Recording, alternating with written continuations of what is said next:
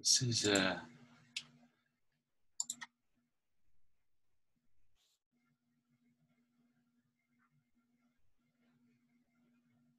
nothing yet. All right, let me uh, try and restart that. Share. You guys see it now? Yep. All right. Um, I lost my PowerPoint.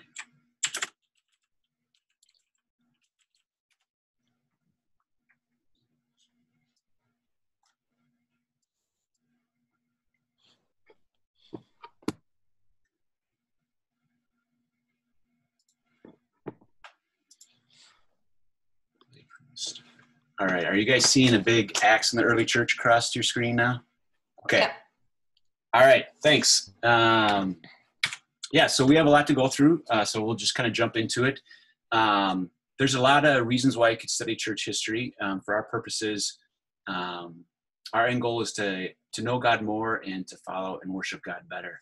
And so our focus is really to serve the church and the purpose of the church, pursuing and um, God's kingdom. And so because of that, we'll probably or we will focus more on theological issues as they arise in the church and how they relate to present day versus um, trying to memorize sequence of events and things of that sort. Um, most of the material or all the material is drawn from the book of Acts. And then this was uh, my textbook uh, that I used for church history, the story of Christianity by uh, Justo Gonzalez, which if you guys are looking for a book to use, uh, it's a two volume set. Um, and it's widely used within uh, seminaries and church uh, settings for uh, church history. So it's probably a good resource. Um, the outline for tonight. Uh, we got kind of three main areas. The first two we're going to go through pretty quickly and then camp on the third one, which is just the theological issues for the early church. Uh, but before that, we'll address kind of just the question of when does church history begin and then get some background on the first century context. Um, so the premise kind of to start with is that to really, in order to understand church history, we need to understand uh, church history in light of the whole storyline. Um, and there's a lot we could study in this regard, um, even from a just a biblical theological perspective. We just don't have time for that tonight. So we're going to try and just kind of hit the main uh, aspect of it. But um, let me ask you guys uh, for your response. Uh, and I'm not sure how this is going to work with so many people in Zoom. We'll we'll try it out and see how it goes. But um, when, uh, in your opinion, does church history enter into the biblical storyline?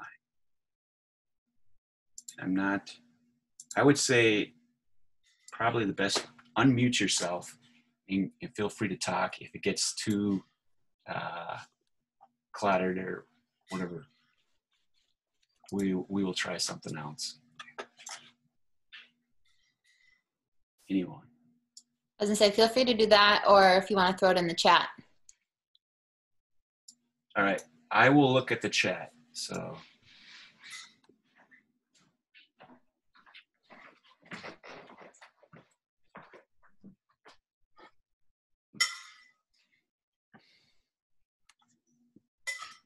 I forget what it's called. Acts. Oh, go ahead, Joanna. Um, like after Jesus tells, like, goes up into the clouds. I don't Okay. know what it's called. So uh, somebody else, I think, uh, in, in coordination with that, put Acts two. So the idea that after Jesus's uh, resurrection is kind of when church history starts. Um, so why would you say that versus uh, any other time period in history?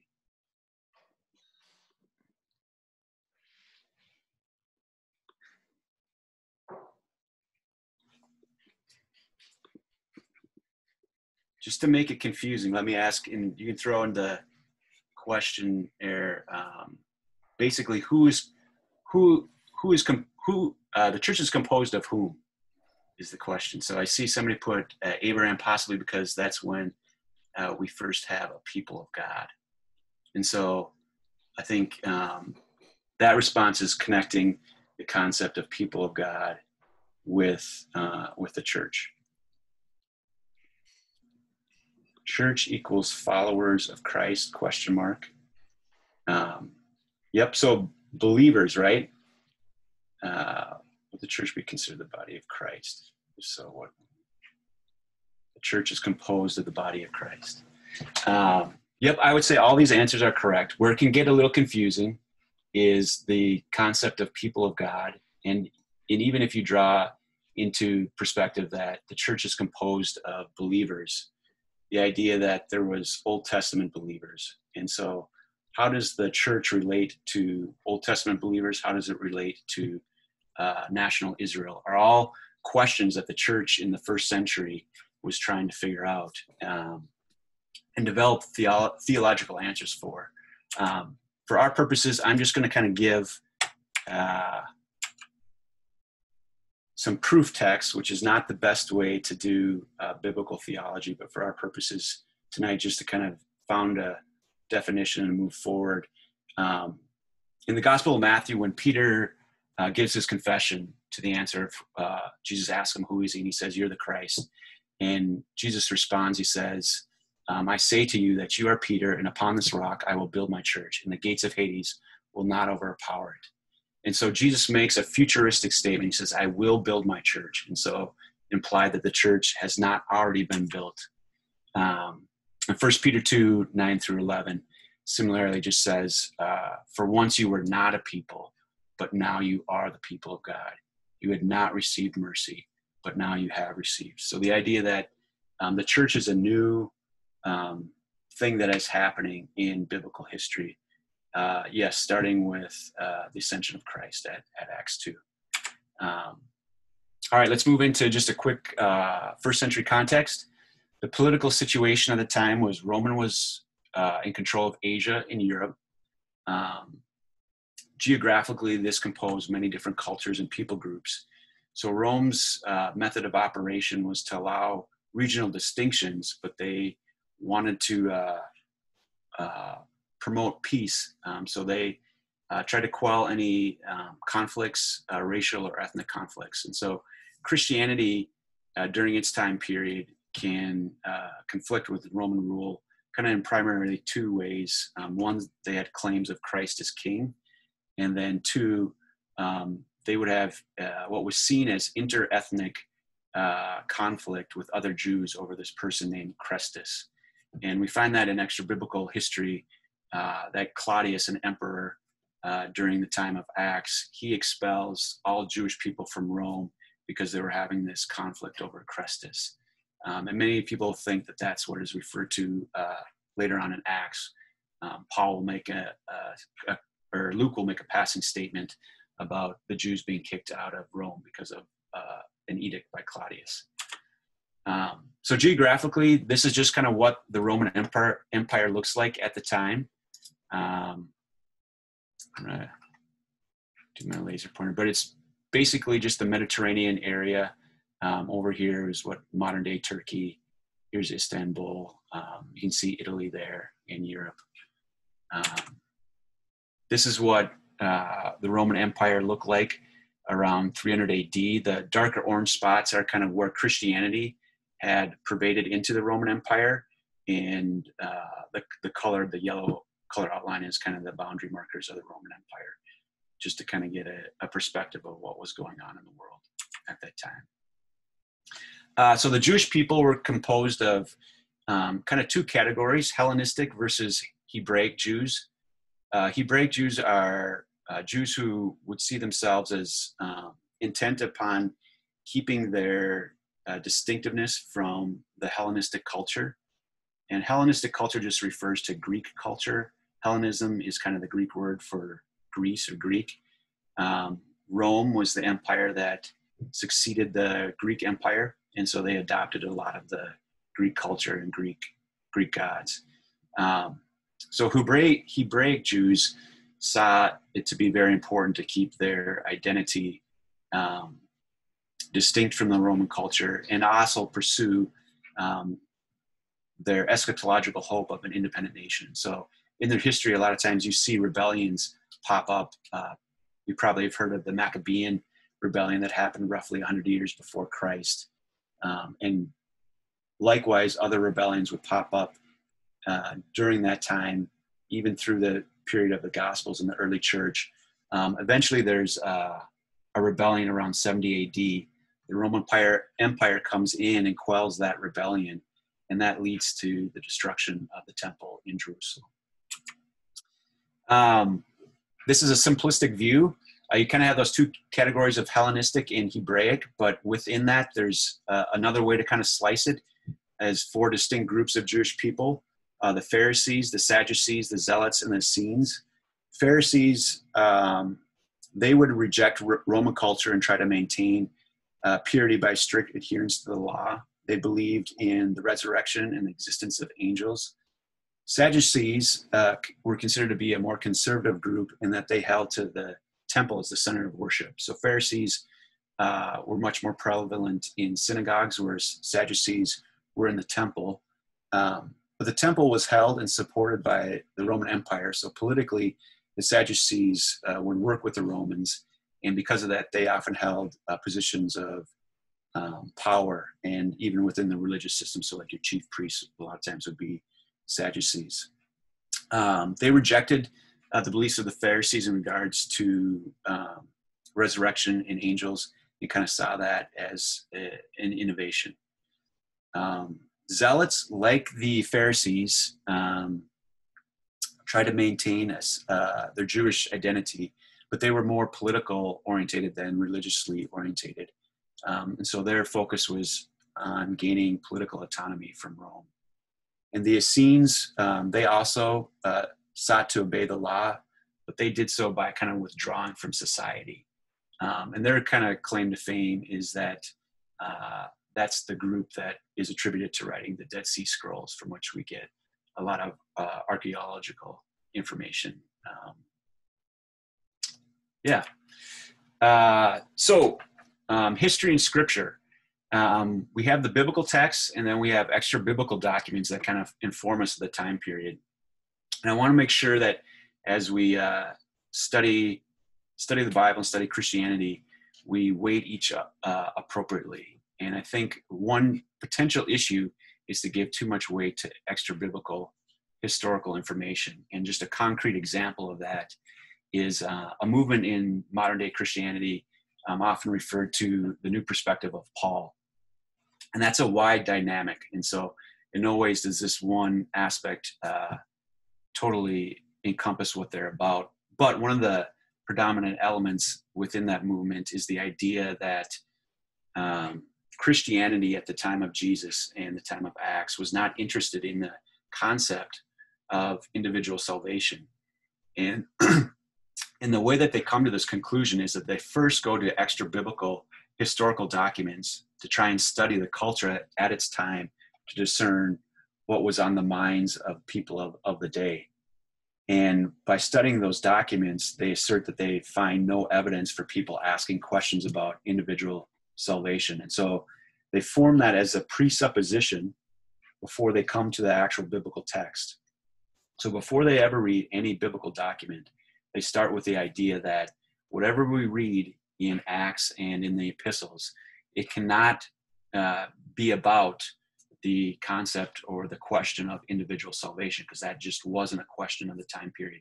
If we think it is, they would assert it's uh, modern readers reading their Western culture back into the text versus the text itself. The problem with that is uh, kind of twofold. One is the biblical text itself. I would assert contains very clear evidence that people in the time period were interested in individual salvation. You have the rich young ruler, for example, who comes to Jesus and um, asks the question, What must I do to be saved? And so the other problem with that is that if we go to extra biblical text and allow that to determine the content of what the Bible can or cannot say, then we've already um, basically neutered the Bible from being able to speak into our lives. So when you show up on Sunday uh, to a sermon, oftentimes the, the preacher's um, agenda is not to um, necessarily uh, take up uh, topics that you're interested or the congregation would be interested in for, from the pew, but rather speak into their lives and bring them back to God's orientated view of what is important. And so if we use extra biblical text to set the precedent, that doesn't allow the biblical text to to speak in. Um, last point on history and scripture. Uh, so we have Acts and later history, and kind of off of the first bullet point is just Acts is inerrant, inspired history, and so it carries much greater weight than uh, later historical documents that we'll find. Um, all right, so let's jump into theological issues within the early church. And the first one that uh, I want to look at is just um, the idea that the church uh, basically uh, has to apologetically argue for Jesus and his church as the fulfillment of Old Testament promises to the fathers. That's like a major theological objective we find within the church um, at the beginning. And so um, we find uh, sermons that address this topic. Two predominant ones is Peter's first sermon in Acts 2, which is given at Pentecost.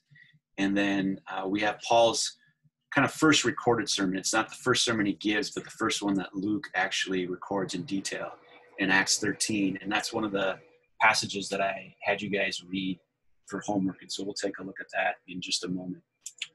Um, the thing I want to, before moving on, just kind of point out about Acts is so right from the get go, after Jesus' resurrection, we have Peter in Jerusalem. Uh, Jews from all over the Roman Empire are gathered at Jerusalem for Pentecost, and Jesus gives his first sermon. And so um, we find that uh, God has orchestrated from the beginning just the start in the small town of Jerusalem and allows for this uh, new faith or this faith with a new understanding to, to spread immediately beyond the boundaries of Jerusalem. And so if we just look at a map that kind of describes different geographical areas mentioned in that uh, Acts 2 sermon, we see it going you know, throughout the Roman Empire. Here's Italy and Rome, this is Turkey, and this is over in the kind of the Arab countries. All right. Uh, so Acts 13, 16 through 47. Um, it's a long text, and I kind of want to freshen your guys' mind. So I'm going to give you um, about six minutes just to kind of quickly read through that text again. Uh, you don't need to read through it in detail, just get it fresh in your mind. We're going to concentrate more on verses 26 through uh, 41. So I would say um, I actually time I have is 6:35, so roughly um, I'd say 641, 642 will come back and just answer these three three questions. Should I send them into breakouts? Um, you know, I I was not planning on uh, breakouts. Uh, no, yeah, let's not. Uh, we'll just okay. go through this as a, as a group. Okay.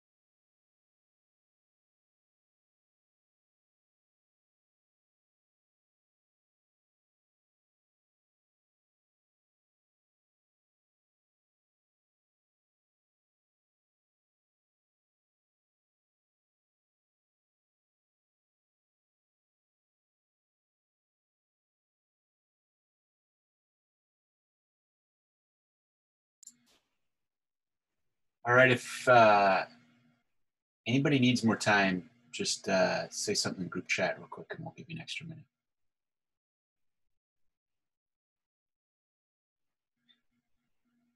All right, it looks like we're we're good to go. Um, so uh, whether in group chat or if you want to put on your mic, um, what is Paul trying to convince his audience of, basically, in this this message? The plain, simple, obvious answer.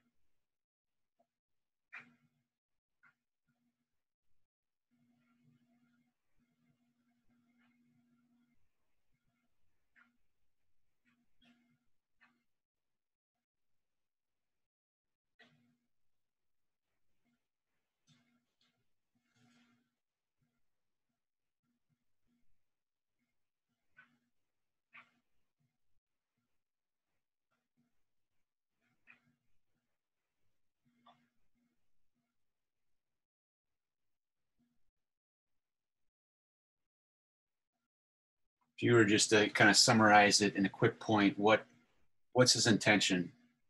God has fulfilled his promise to his people through Jesus. Yep, I like that.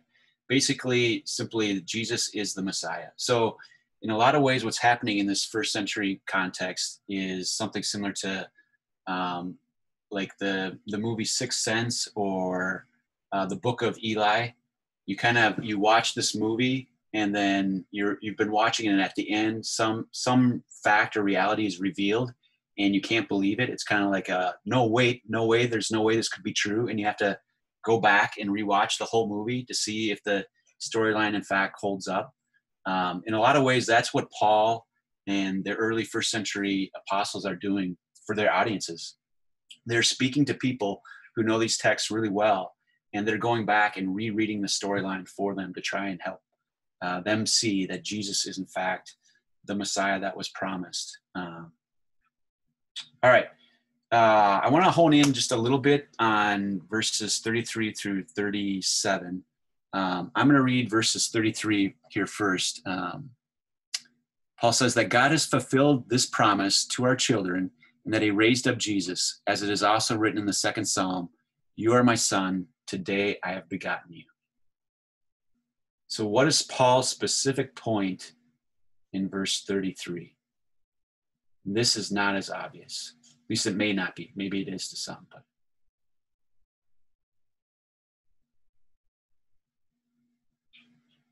Rhetorically, what is Paul doing when he uh, quotes Psalm 2? What is his assertion?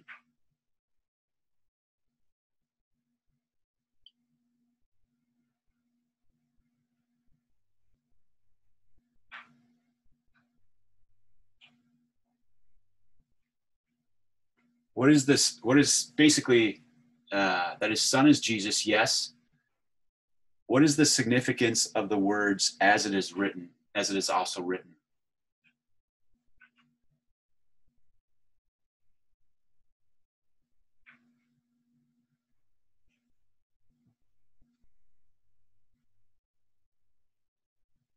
That this was predestined fulfills prophecy yeah exactly. It fulfills prophecy. So his previous statement is basically he's saying it's being fulfilled by the Psalm to quote.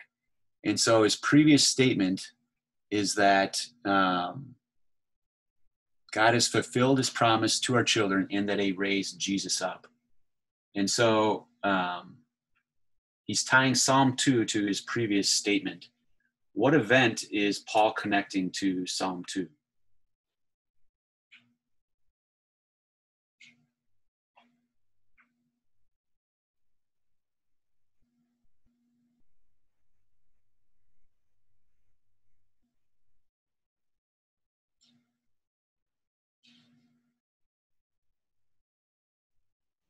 What is the phrase he raised him up reference?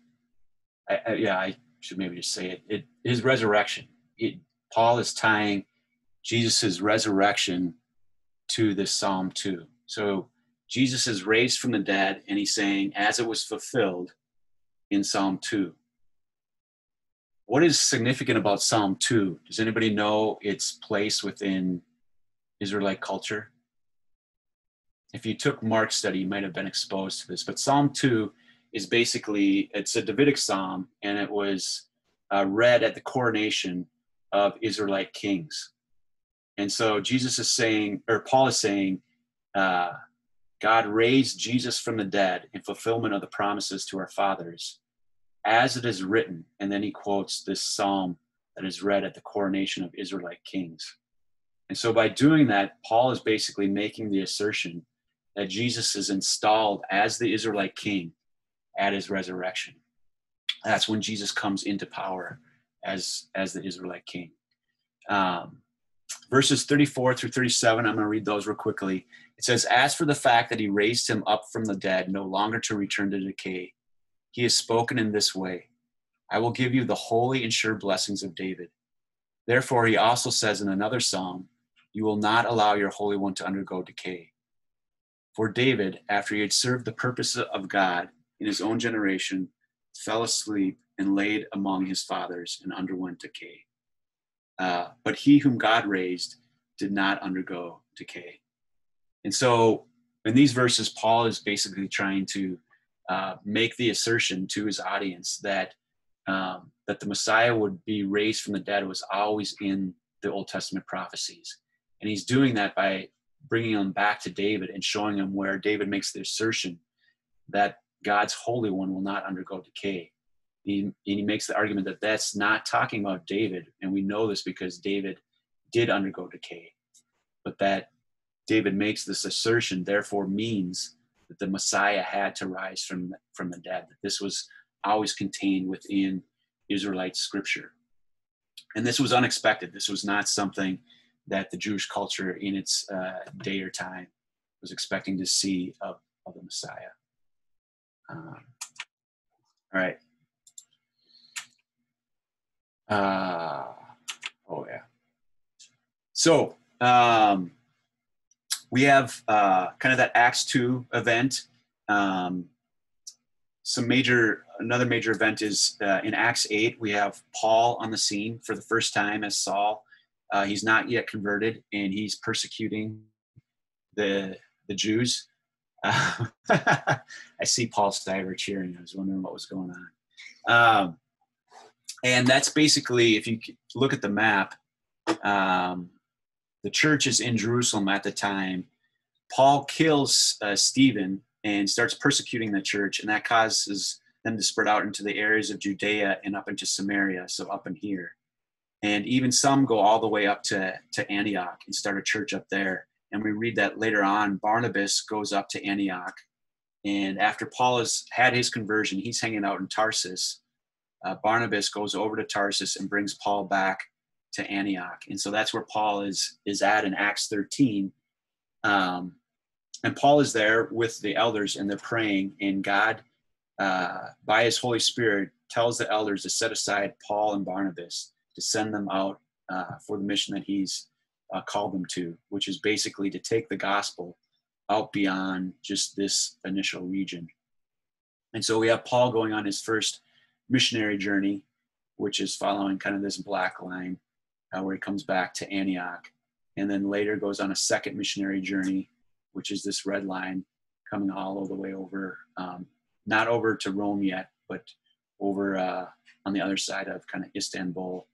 Um, I guess I don't know the European countries at the time right now, but um, comes back, uh, and then shortly after that, decides to go back, re-encouraging the churches that he had already visited, seeing how they're doing, uh, appointing elders, um, and comes back. Always coming back to Antioch is kind of his home station. And then this last green uh, kind of voyage here is indicating Paul's journey to Rome. So this wasn't a uh, intended missionary journey, but rather just Paul um, appealing to Caesar after he's been uh, accused of a crime. He appeals to Caesar to plead his case, and he's brought to Rome. And that's kind of where Acts ends up. And so you kind of see within the storyline um, the gospel message being spread out from Jerusalem, not by any planning by the apostles or any strategizing of the church. This is all God's initiation.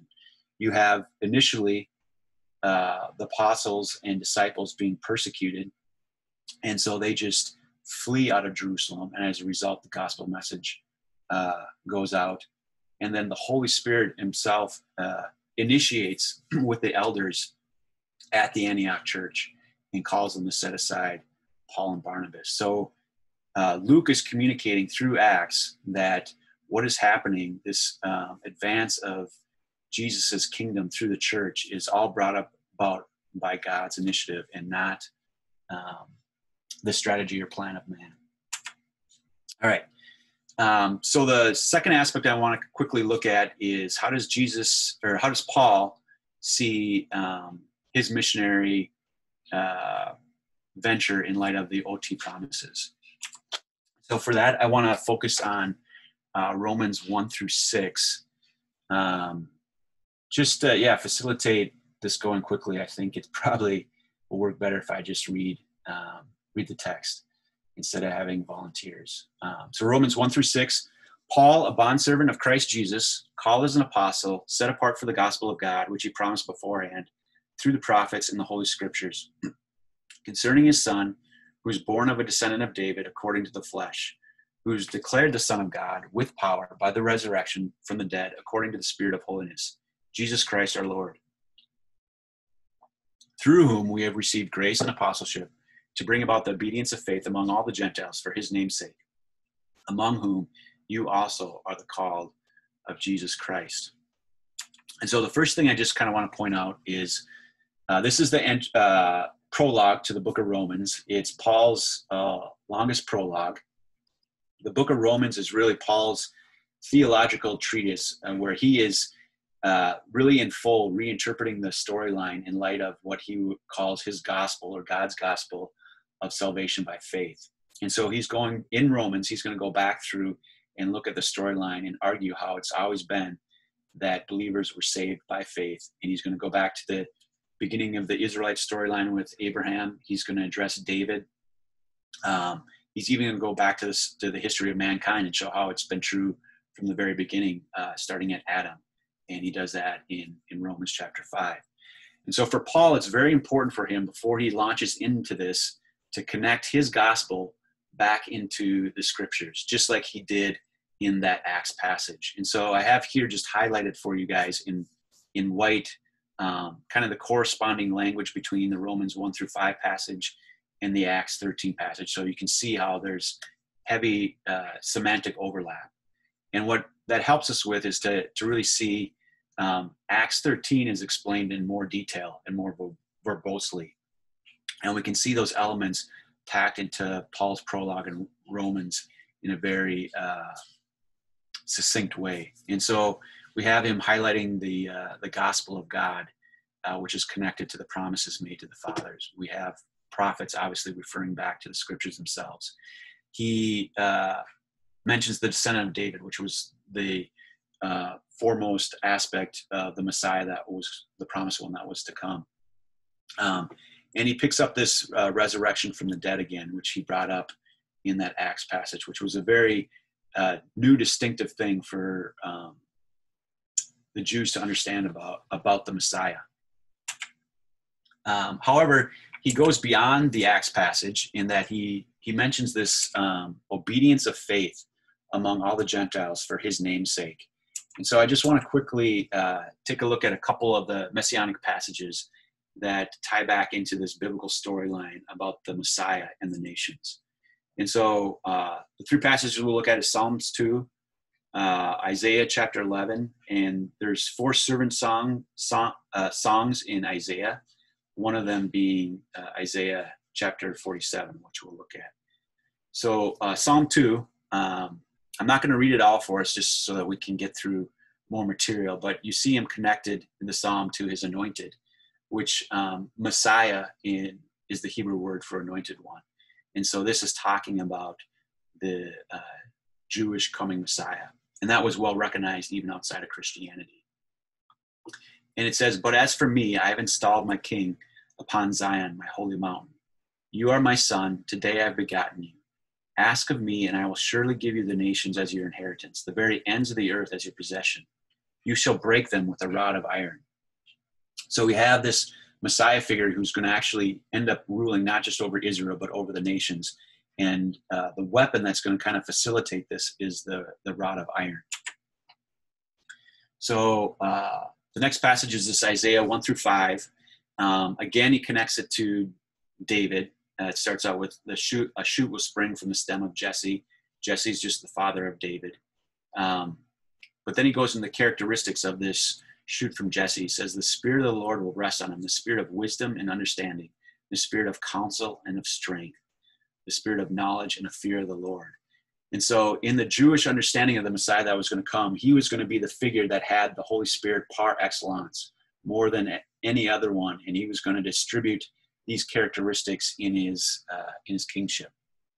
And later on in this passage, we again see this reference to uh, the whole earth, which is inclusive of uh, Jews and Gentiles. Uh, it says, He will strike the earth with the rod of his mouth. And so in Psalm 2, we had rod of iron, and now it's kind of transformed a little bit to this rod of his, of his mouth.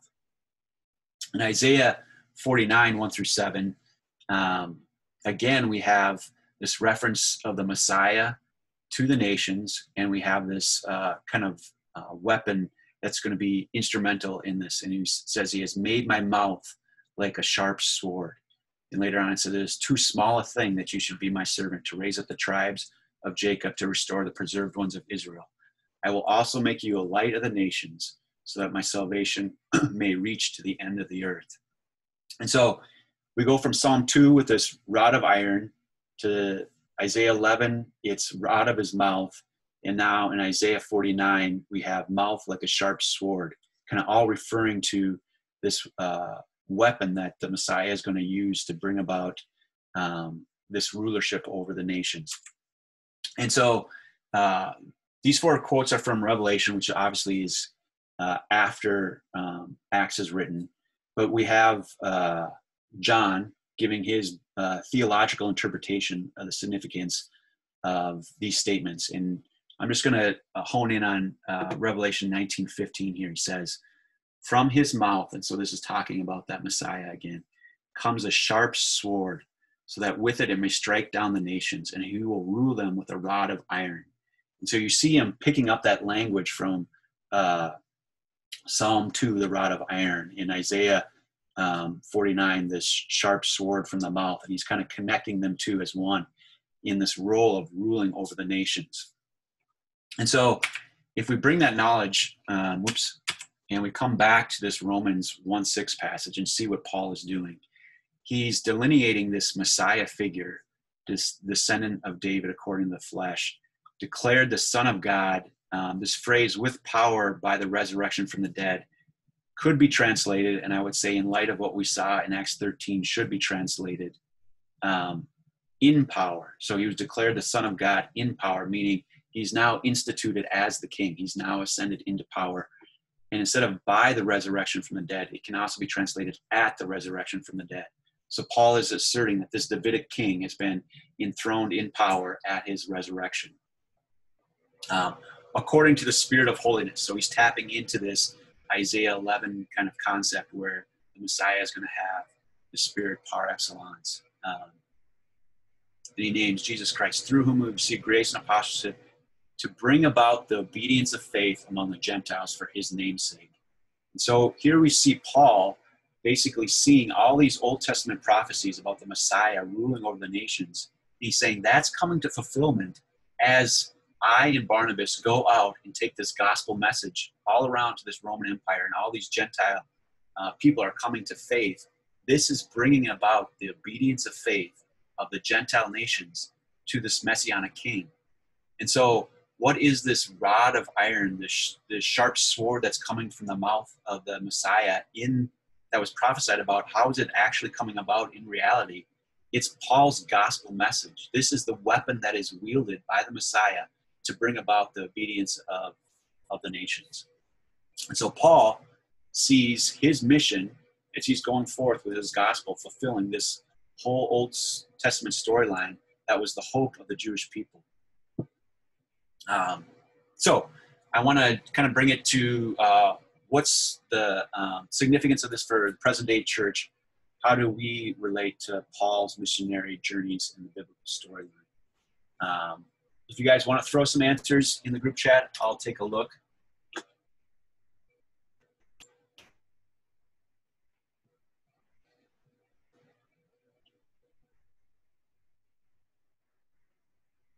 Plant churches, yes, definitely, right? So uh, as we plant churches locally, we are carrying out this, this idea of the Messianic King moving out into the world and uh, establishing his rule over Gentile nations.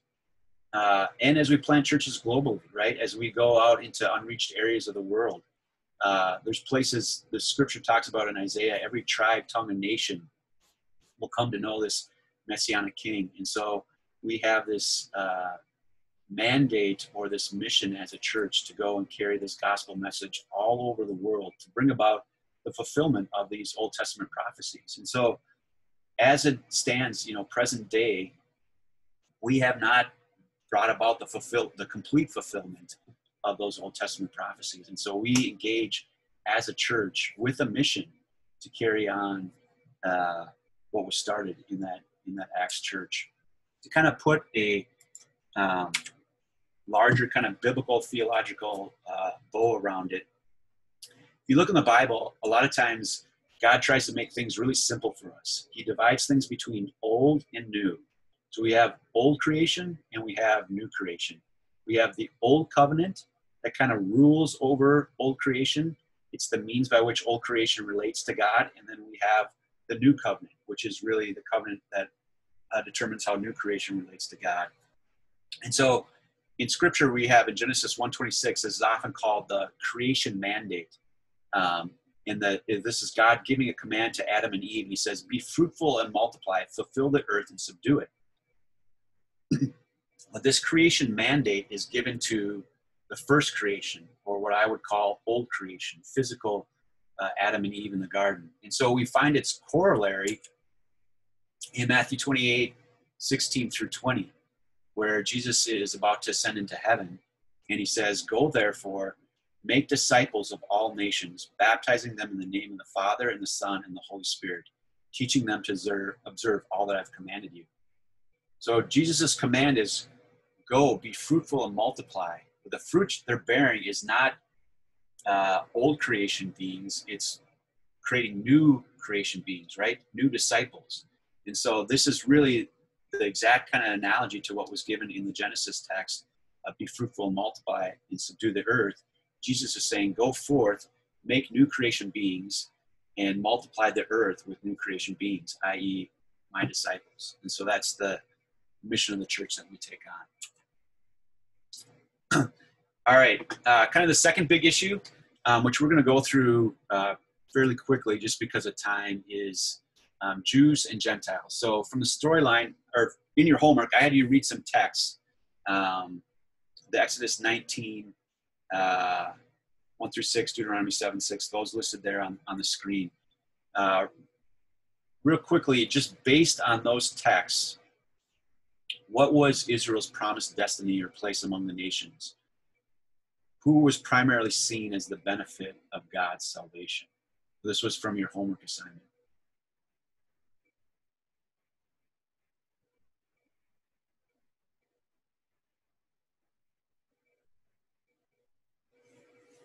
Uh, so Eric Dave says, to be set apart, reflect God to the world, to love, obey, represent, special and set apart. Yeah.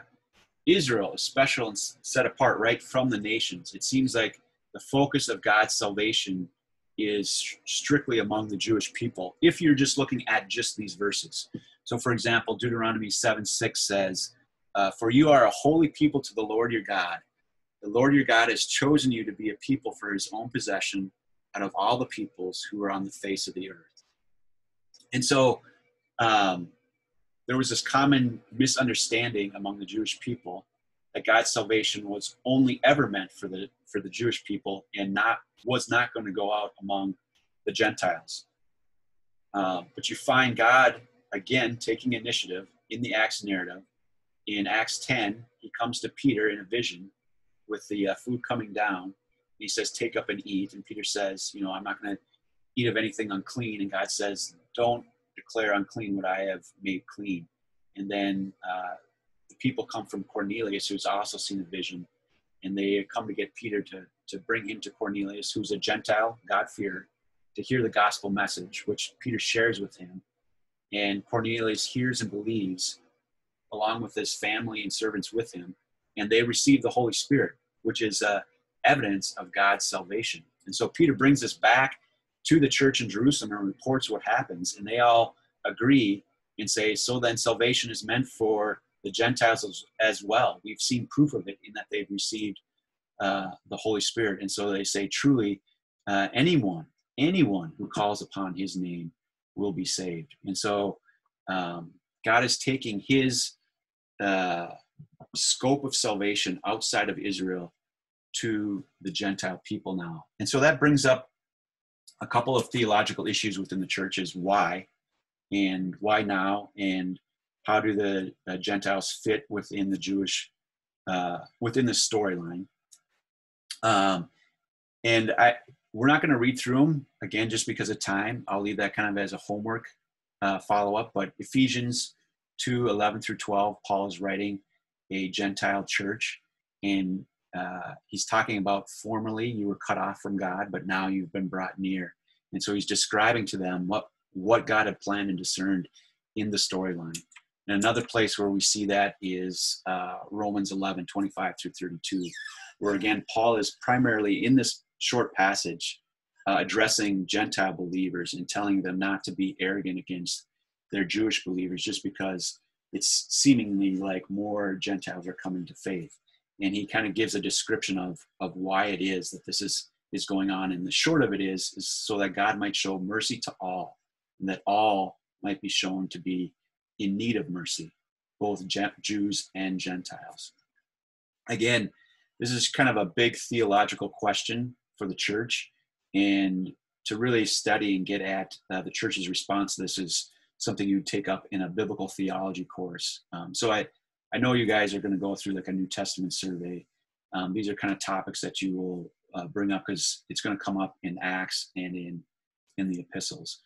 Um, also, is uh, that kind of occurs with this Jew Gentile thing is not just the theological question, but also just kind of the tension between the different cultures and as they're in church uh, uh, communities that are the same in practicing different um, cultural aspects. And so you see that, for example, in Romans 14 and 15, where Paul is uh, commending the Gentile believers to not take advantage of the freedom that they have to just eat anything they want, because in taking advantage of that, they're causing some of their Jewish brethren to also partake of these foods which because of their cultural background, they just don't feel uh, like it's okay for them yet. And it's causing a stumbling block in their conscience.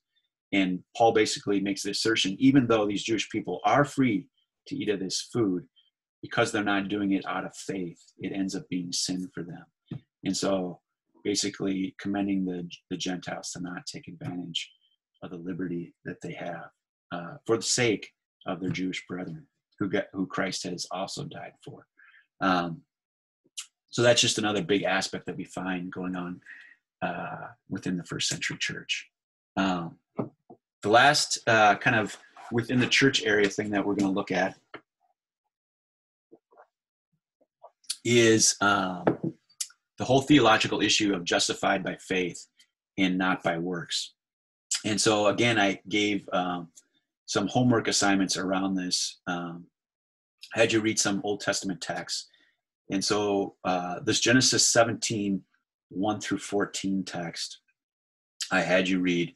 If you need to, you can kind of refresh yourself, but um, I'm just going to kind of leave these questions on the screen and have you guys uh, post answers um, in the group chat, and I'll just kind of flush them out and talk about them. So um, basically, the idea or question that you're at, at trying to answer from this Genesis 17, 1 through 14 is from that text, what role or function is circumcision playing with regard to the Abrahamic covenant?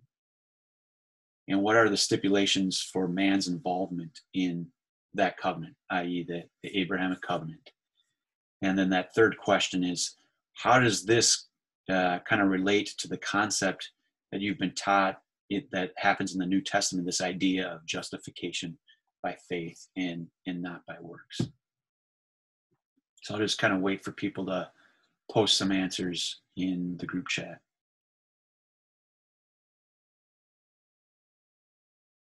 Okay, so Lindsay says, by the act of circumcision, they become a part of the chosen people, recipients of the promise. It's a physical reminder that they are God's chosen people.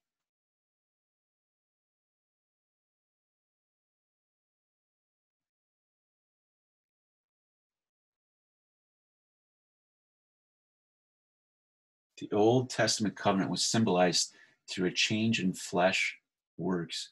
In the New Testament, have a change in the heart or spirit.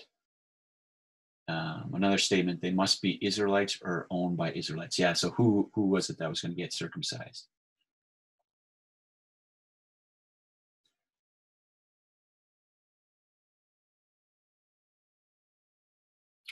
Yeah. So uh, I'm just going to read a couple of the statements here um, to try and just emphasize uh, kind of the the stiffness of the language. Um, God says, "I will establish my covenant between me and you and your descendants after you throughout their generation for an everlasting covenant, to be God to you and to your descendants after you." I will give to you and to your descendants after you the land of your sojournings, all the land of Canaan, for an everlasting possession, and I will be their God. God said further to Abraham, Now as for you, you shall keep my covenant, uh, you and your descendants after you throughout their generations. This is my covenant which you shall keep between me and you and your descendants after you. Every male among you shall be circumcised. So he says to him, Every male shall be circumcised, you and your descendants after you, throughout the generations. So not just the first generation, but throughout the generations. Uh, and you shall be circumcised in the flesh of your foreskin, and it shall be a sign of the covenant between me and you. So um, we find a very stark statement about God's role for circumcision with regards to the Abrahamic promises. So we've looked at earlier how Paul's been arguing that what's going on in this first century context is the fulfillment of those promises. God has told Abraham this should happen for you and your descendants throughout your generations. So I'm going to leave it at there. We'll come back to that text. Uh, Deuteronomy 30 that was another major text that I wanted you guys to read. Um, so feel free to look back at it if you need to, but from your notes, your homework, if you can just throw back into the group chat, uh, just answer that top question from the text. How will Israel regain entrance into the land once they've been kicked out?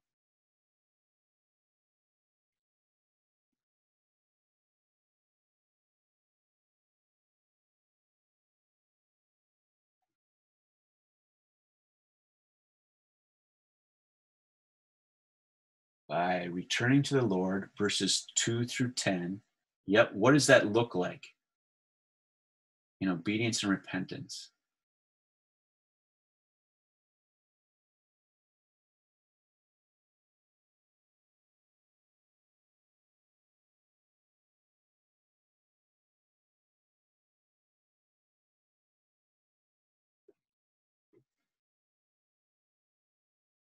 So if I read uh, verse 10, kind of the one I call out there, it starts with a condition, right? It says, If you obey the Lord your God to keep his commandments and his statutes, which are written in this book of the law, if you turn to the Lord your God with all your heart and soul. And so basically, this passage, if you read through it within Israel's storyline, uh, God sets up this requirement of how Israel was going to get back into the land. And it was going to be by keeping his Mosaic covenant, the covenant uh, which contained the commands that they broke, which was the reason that they got kicked out of the land. And so you see, for example, in Nehemiah, uh, if you uh, we went through that as a church maybe a, uh, uh, a year ago. Nehemiah chapter one makes specific references back to this Deuteronomy 30 requirement of how it is that Israel is going to get back in the land.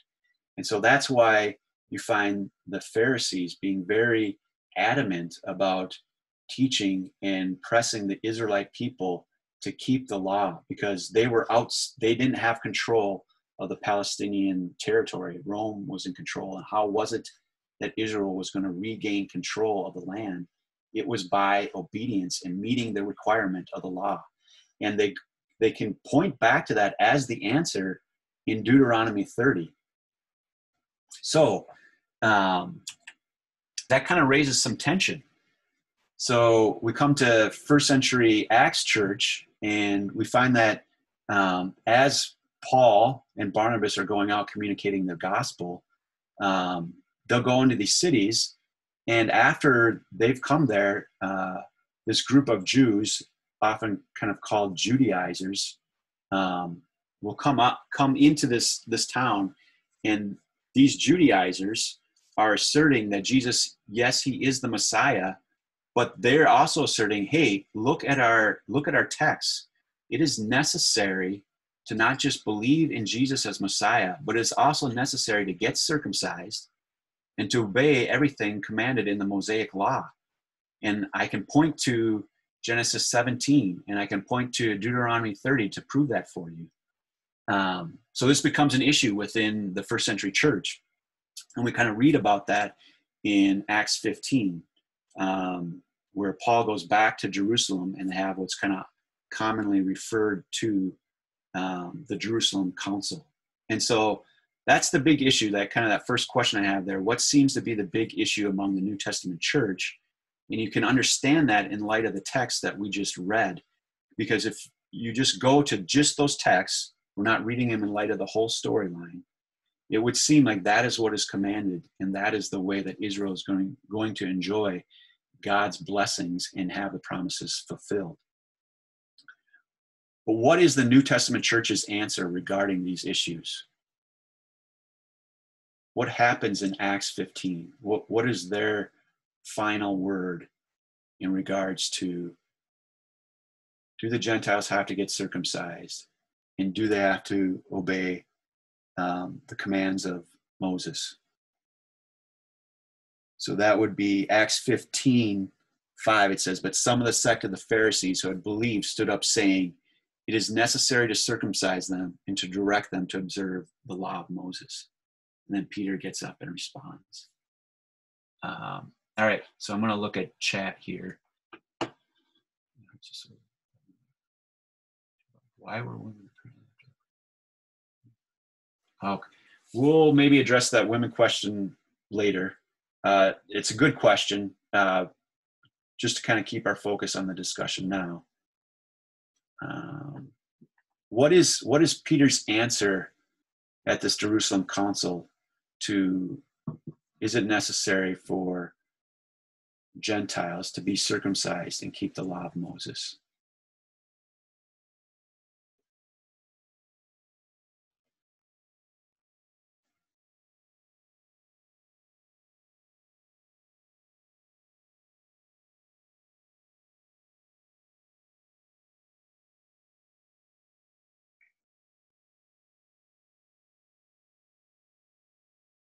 So in verse 7, it says, Peter stood up to them and said, Brethren, you know that in the early days God made a choice among you that by my mouth the Gentiles would hear the word of the gospel and believe. So Peter starts out with the premise, the presupposition that is all agreed upon, even the Judaizers. Gentiles are being saved. So the question is not whether Gentiles can be saved. The question is, how is it that they're going to be saved? So um, I see somebody mentions verse 11 there, so I'll, I'll, point that out as I get to it. Um, so Peter stands up and says this, and then it says, uh, verse 8, and God, who knows the heart, and testified uh, to them, giving them the Holy Spirit just as he did to us. So again, that was what we talked about before, how it was that it was confirmed that they actually were saved. And he made no distinction between us and them, cleansing their hearts.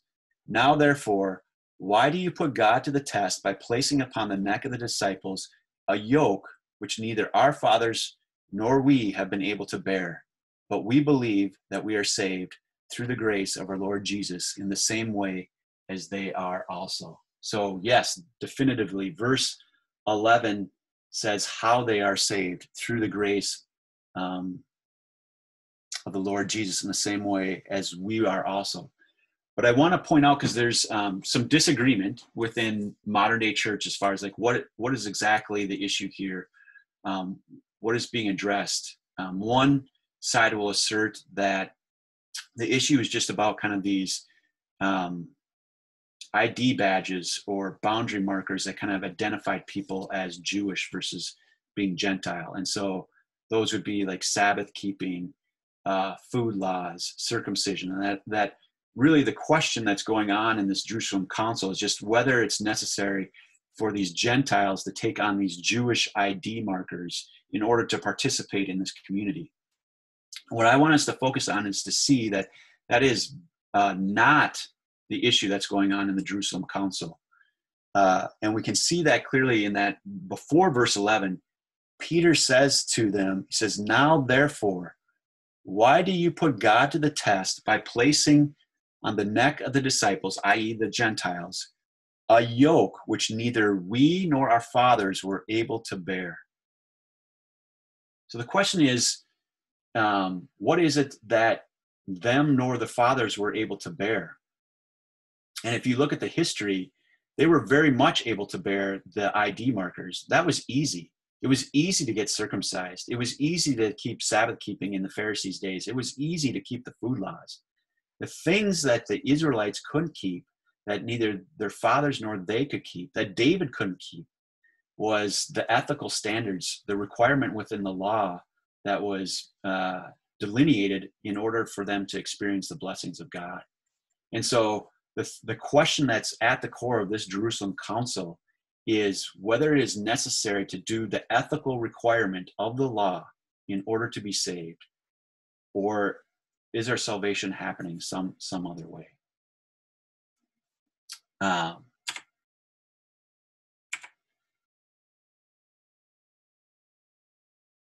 so what significance does that have uh, for the church today? This this idea of justified by faith and not by works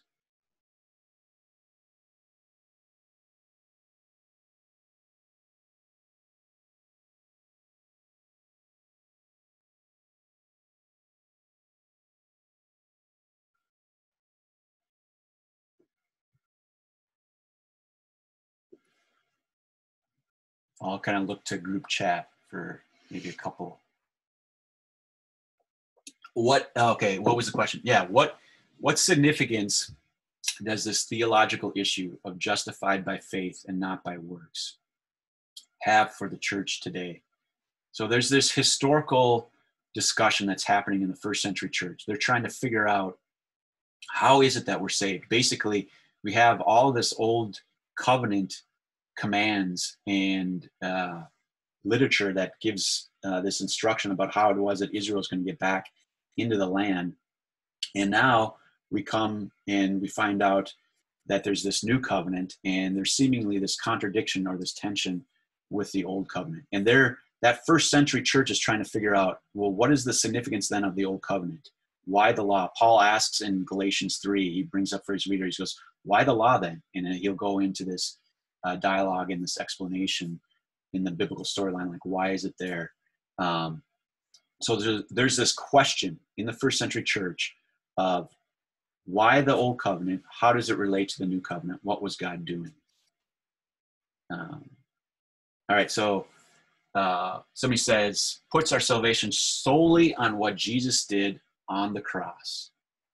Uh, somebody else says if we're saved by works no need for jesus right Exactly. The New Testament would say that we're saved by Jesus' fulfillment of the law and by his works. We don't bring any works to the table. Exactly right. So, how is it that that Deuteronomy 30 requirement is being met? Uh, go and look in your uh, Romans chapter 10, and Paul is actually going to address that Deuteronomy 30 text. He's going to allude to it, and he's basically going to say, It's not by us fulfilling the requirements, but rather it's by Jesus fulfilling the Deuteronomy 30 requirements. Granted, the language he uses there is uh, a little bit poetical, and it's uh, you kind of have to read in the context of the whole letter to understand what he's trying to get at there. But he's alluding to this Deuteronomy 30 text, and he's basically saying, yes, I'm not getting rid of that Deuteronomy 30 requirement that the law be met. It was a strict, hard, fast requirement. And that is how Israel is going to get back into the land. But it is Jesus who meets that requirement. It is Jesus alone who gets into the land by that requirement.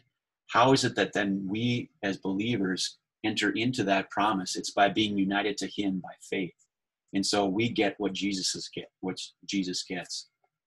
Um, just to kind of give you a little bit of context, the significance for today. This this is one of the, still one of the highly disagreed upon um, components in the Christian faith today among conservative evangelical Christians. So, what I mean by that is just uh, people who intently believe the Bible is inerrant.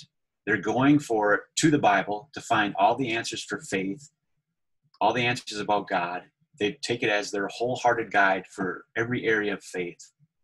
And these this group of Christians who will assent to that those principles are coming to different conclusions about how the Old Testament relates to the New Testament. And they're coming to uh, very different practical implications of it. So, um, for example, I would bring out Romans 6:14. It says, "Sin shall not be master over you, for you are not under law, but under grace." So, for the Christian life, it's very important to know what Paul means by not under law, but under grace. And it has everything to do about your daily battle against sin and to experience your joy in following Christ.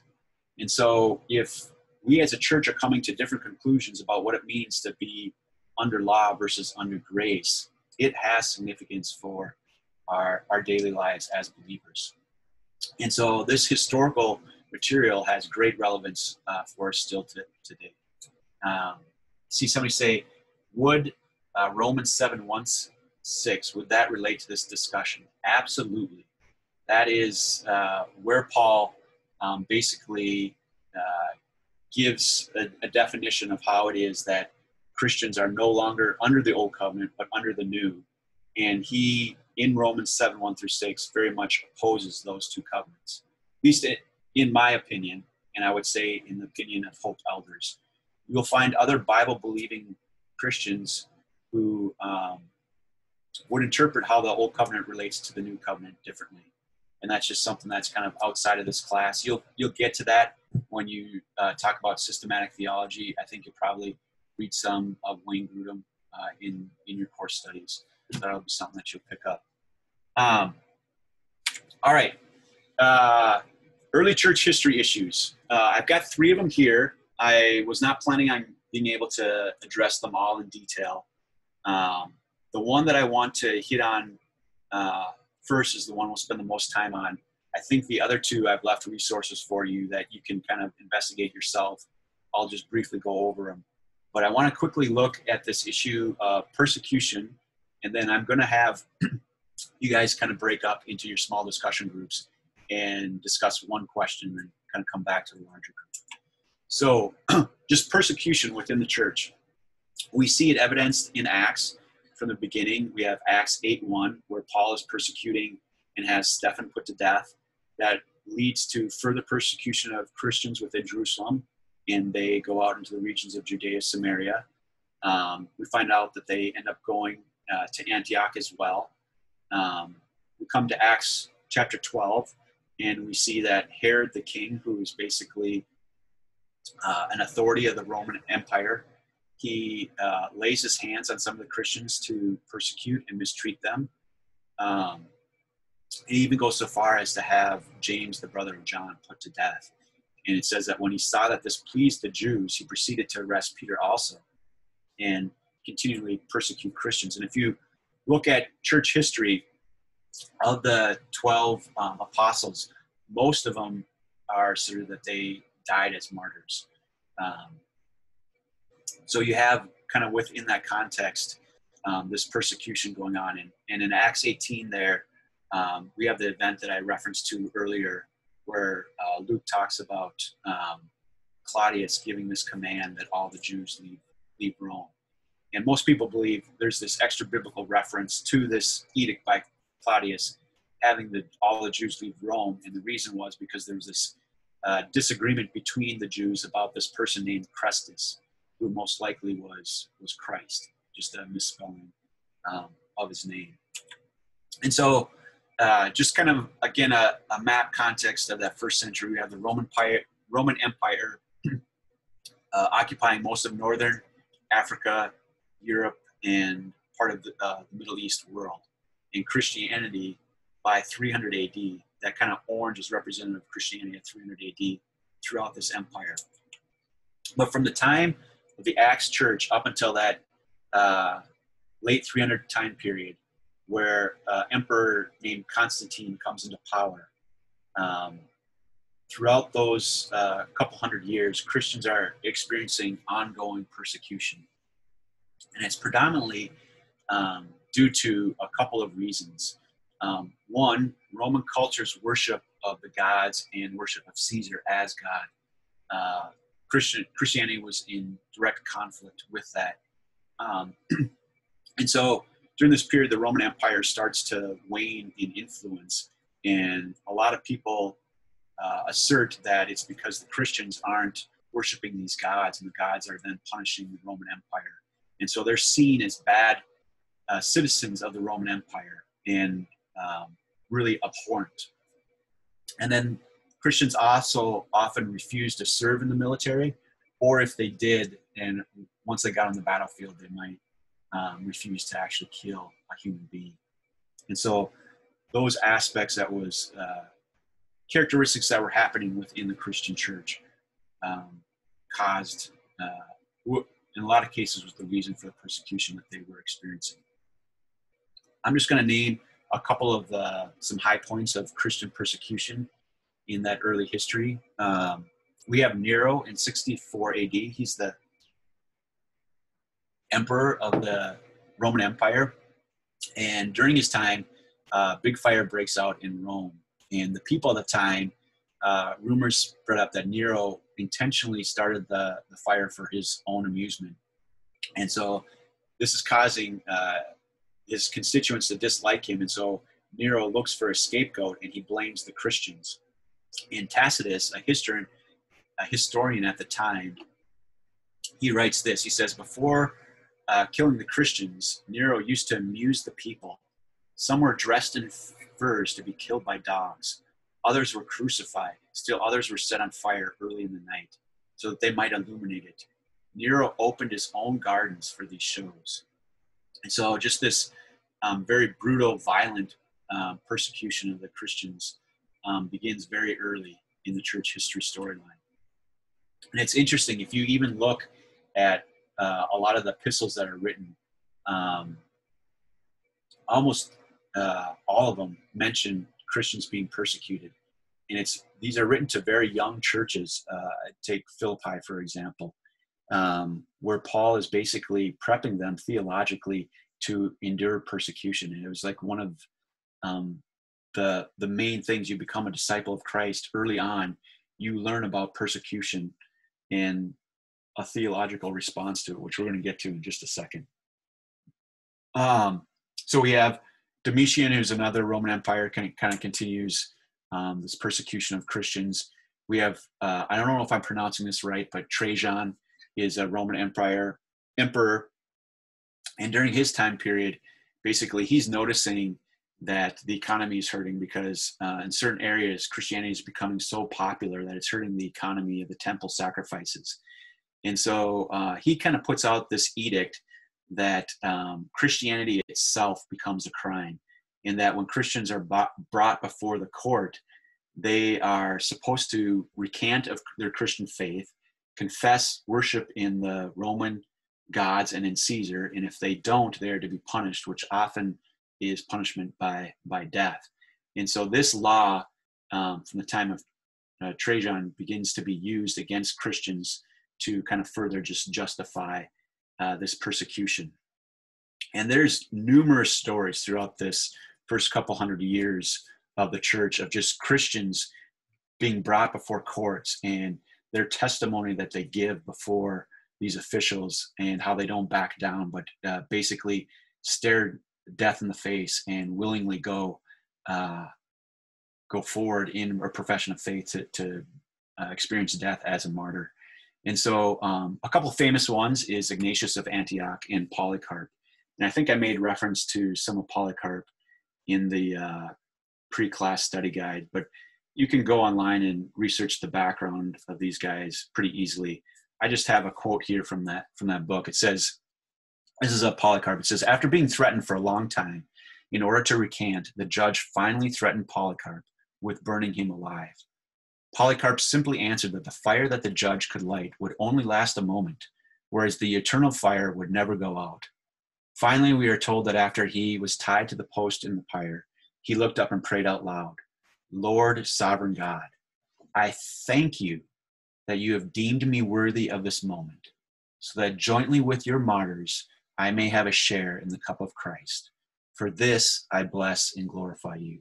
Amen. And so, just this idea, this thankfulness um, of being a martyr becomes a characteristic in, in these first couple centuries. In fact, their belief was that no one could endure in and of themselves, that it was only God who gave the power to uh, not recant their faith, to have the, the power to endure the torture and stay faithful to, to the end. And so it becomes a, a huge honor during this time period to become a martyr. Uh, this continues, like I said, with other Roman Empire emperors. Um, Diocletian and Galerius uh, kind of are the, the last two that are really heavily persecuting Christians before Constantine comes in into power. All right, so the church has to have a theological understanding of suffering and a response because it's happening from the very moment that Christianity is going forth. Um, so I'm going to just uh, quick read uh, two texts here Romans 8 31 through 39. Paul is writing, he says, What then shall we say to these things? If God is for us, who is against us?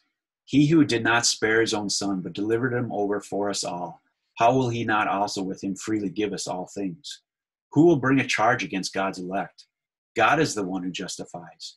Who is the one who condemns? Christ Jesus is he who died, yes, rather, he who was raised, who's at the right hand of God, who also intercedes for us. Who will separate us from the love of Christ? will tribulation or distress or persecution or famine or nakedness or peril or sword? Just as it is written. So Paul here quotes Psalm 44. He's saying that the persecution of the Christians are fulfilling this psalm. It says, For your sake we are being put to death all day long. We were considered as sheep to be slaughtered. But in all these things, we overwhelmingly conquer through him who loved us. For I am convinced that neither death nor life, nor angels nor principalities, nor things present nor things to come, nor powers nor height nor depth, nor any other created thing will be able to separate us from the love of God, which is in Christ Jesus our Lord. Um, so Paul is clearly just has an idea that Christians will endure persecution, but ultimately it's trivial in light of the promises of Christ and the surety of those promises. Uh, I want to quickly also look at Colossians 1 uh, 24.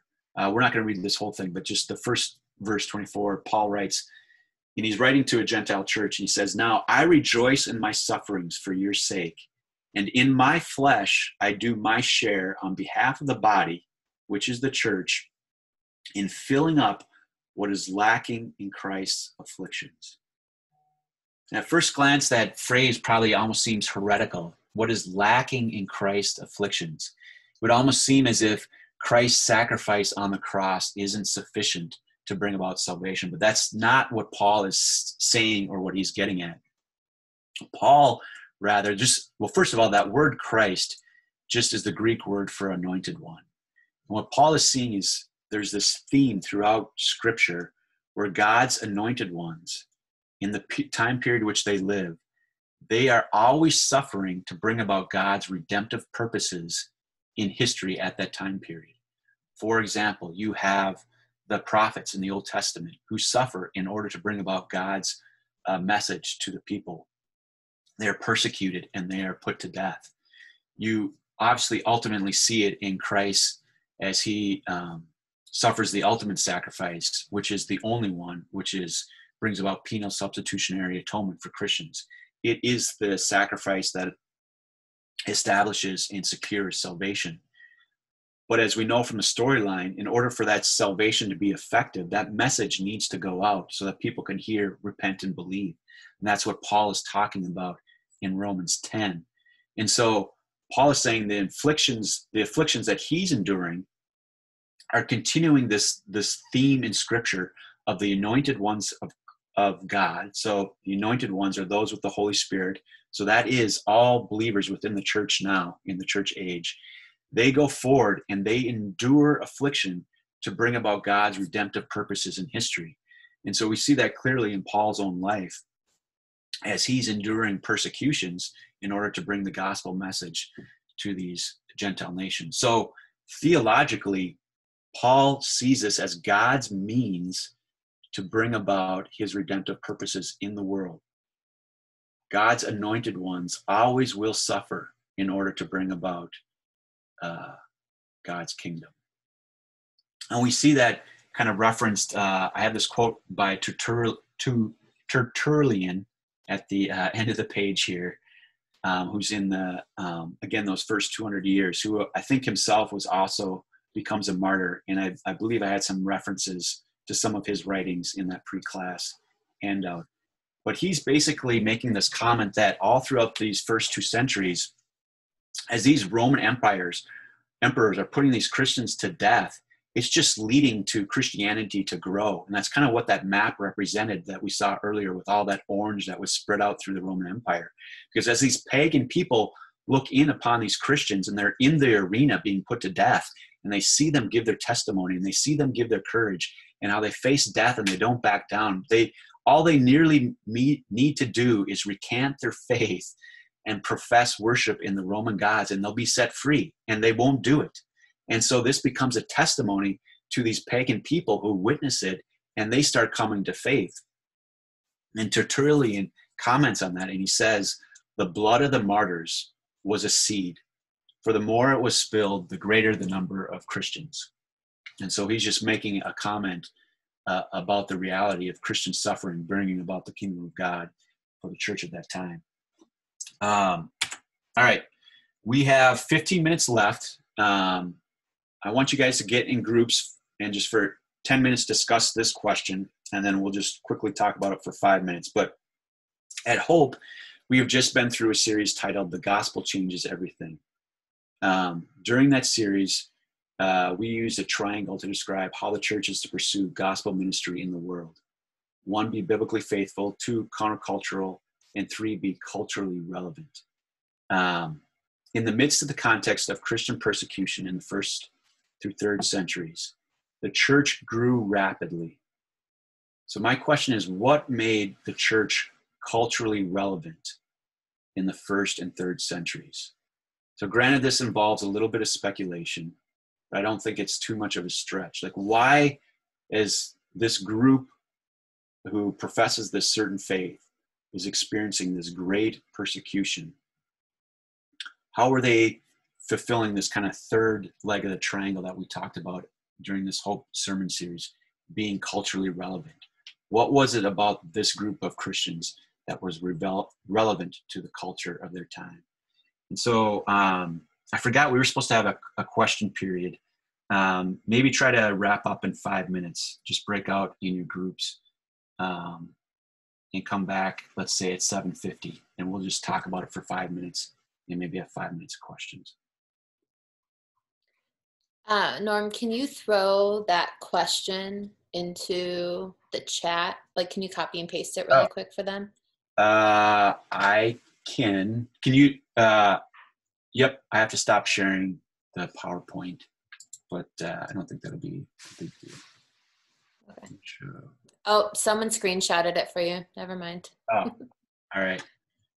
okay. All right. I'll send you guys into your breakouts.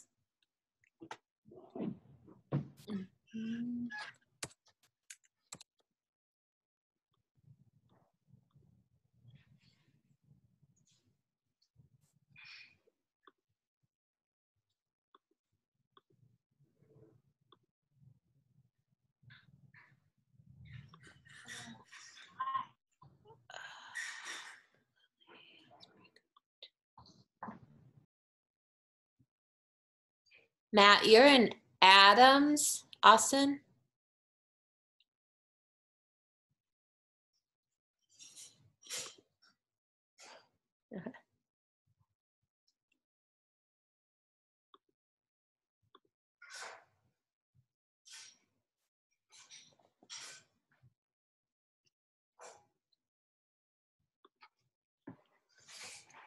Awesome.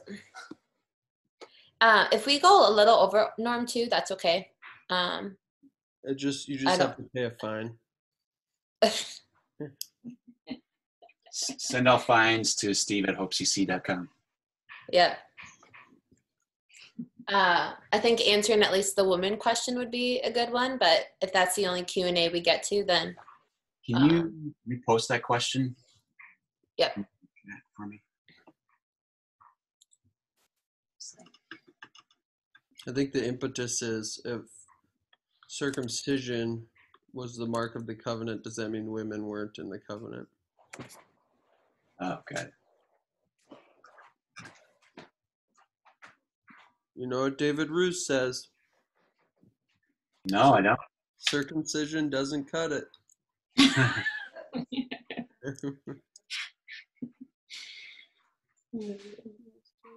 it's not a. It's not. It's a. It's a Bible joke.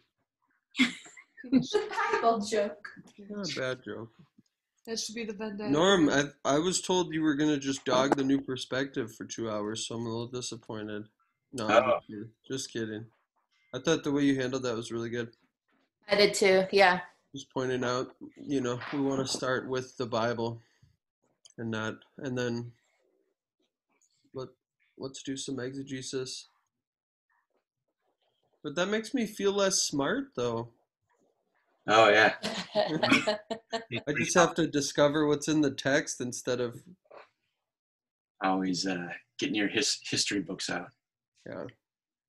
Kaylin, did you make that blanket? I did. Oh, that's Jamie's off camera. I wasn't ready for it. You guys, but can I just tell you how sad I am? I like made it not wide enough. Okay, I did the same thing. And so I redid mine because it wasn't wide enough. Whoa, Which was that is um, that is, that is commitment to redo it. it was definitely a lot of commitment. I first did it too tight and then I got like maybe a third of the way through and I was like, this is way too tight. And then I did it again, Oh, did it all the way through and I was like, oh no, it's too narrow. it is way narrow. Like it is really only like a cap, like a throw blanket because I grabbed it mine. doesn't.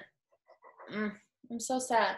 And there's some holes in it too. Like I didn't do the stitching right in some places, so I've had to like tie random knots. But. Kaylin, what Oh, was well. the snack? What was the snack game tonight? I saw you had something. Well, I had dinner, Yeah, saw that. and then um, I have molasses cookies at home.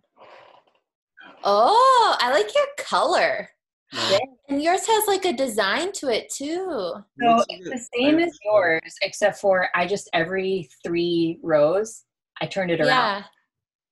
Oh, that's smart. So yeah, it was a fun experiment. It was the only color I could find at the time, which is kind of crazy. Oh, well, yeah, I had this. I like a friend works at a craft store, and so she just had gray or black. I was like, I don't really want black blanket. So it was teal, or there was like a red, like a really bright. Oh. I was like, eh. I like the teal. It's pretty. Thanks. Yeah, kind of fun. It's Cool. warm for sure, but Yeah. I wish in my mind I'm like I wish she would have told me that I made it too long. How many loops did you do wide? Um, three, four, six, eight, nine, ten, eleven, twelve, fourteen. Hold on, fourteen. Probably twenty-two. Okay. 20? Yeah, I think mine's 30. So the first time Oh, I did 20, and I was like, ah. I, So, yeah. That's how I feel about it. I like it though. Thanks. Yeah. I didn't have to pay for it, so that's where I'm like, eh, I can't like complain about it too much. So it's fun. Yeah. We watched Little Women while we did it and cried. Have you guys seen that movie? I haven't seen it, but I got asked on our honeymoon if I was one of the actresses, so that was pretty funny. Really? Oh my goodness! So Yeah, Saoirse Ronan. Like, I don't. Yeah, I don't see that I look a ton like her, but we, we were. Is that Jo? I haven't seen the movie, so I'm not sure. Oh. I, I don't know if I can finish the story. Uh, Sorry. Yeah. but Real quick, Oh, just yeah. we're on this train and it's kind of like a, a booze train like you go through these rocks you know see kind of some neat uh, Scenery and stuff. scenery and stuff but There's like a bar and but there's a food and bar and so a lot of people are are kind of tipsy or whatever and there's this group of ladies uh, sitting next to us who kind of keep kind of whispering and they ask jamie questions you know periodically throughout this trip and like one of them's like oh i can't remember how it came up but jamie replies she goes yeah i lived in la for a while which she did where she went to pt school and so Yeah. Like during this dialogue, these facts keep coming out that would seem to support the idea that she actually is this actress from Little Women, and so finally one of those, one of these women and asked. this one. Yeah, Yeah, I could see it for sure. and I had like my Ellen water bottle, so she's like, "Oh, the Ellen show." I'm like, "Oh yeah, I've been a couple times." You know, she was so kidding. It was it was Yeah. hilarious. Right, That's really funny. Uh, so how does this work? Do they just come back, or do we have to? Yeah. And it looks like they've come back. Sorry, we were talking about Little Women for all of you who are joining us. All right. Um, feel free to, on this one, to maybe unmic yourself and just kind of report back what your group discussed. Um, if you'd rather do it in the group chat, I'll try and read it, but feel free to do do either or.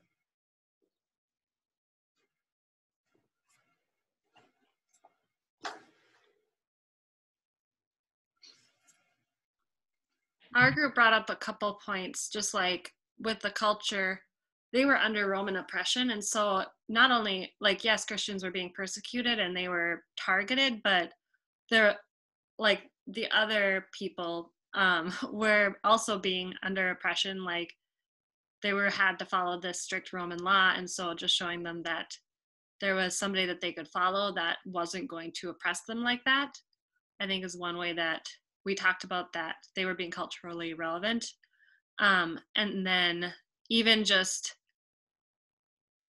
during that time like they would get a new ruler and then he would die and then they'd get another new ruler and they never knew how this ruler was going to be was he going to be crazy like nero um, was he going to be super oppressive um, whereas like jesus he's that ruler that is consistent and he's not an oppressor like he cares for his people and he's going to rule with love.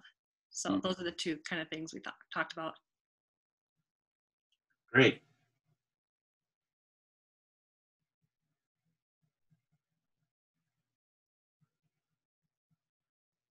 Anybody else?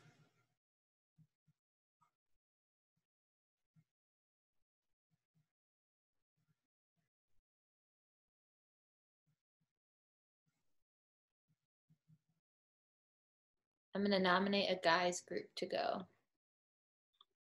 So you guys can duke it out on who's gonna answer.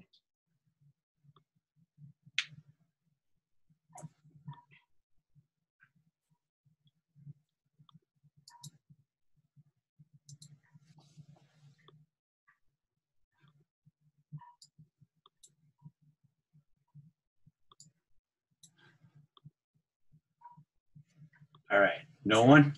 I, I'll just, uh, hopefully you guys had some good discussions and that was the, the point of it. Um, I think it's very important, uh, just kind of what Hope was, was bringing up about how do we engage our world with the gospel because the gospel does change everything, right? Romans 1, 16 through 17 says the gospel is the power of God for salvation. And so the thing that I think is uh, kind of picking up, I'm sorry, I hovering over your window to try and get your name, but I don't see it. But whatever the, the lady said earlier, um, I agree with. So just this idea that uh, hope in Jesus is kind of what I, I just want to phrase it.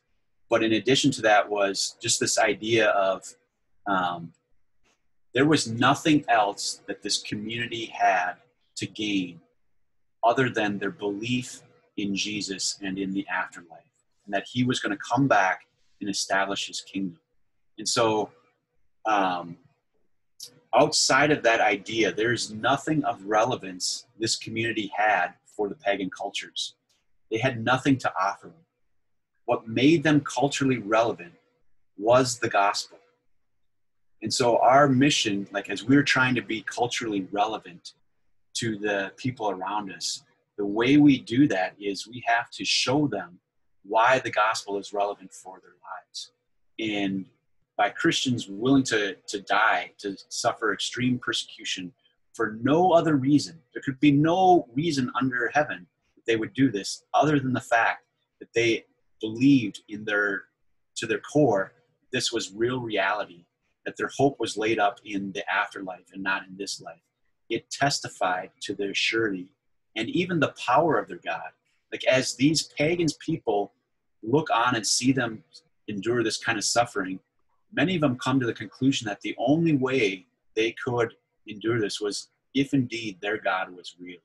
Um, and so as the Christian church had this apologetic for why they were suffering, and then the pagan cultures looked in upon it.